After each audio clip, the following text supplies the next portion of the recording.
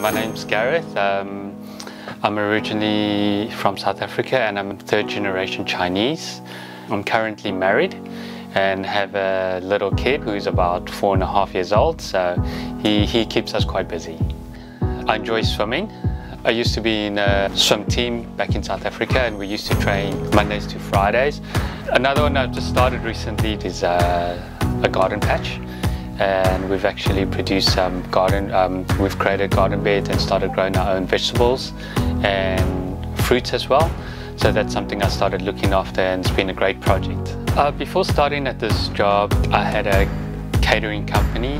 We had that for many, many numbers of years and through that we decided we'd do something else.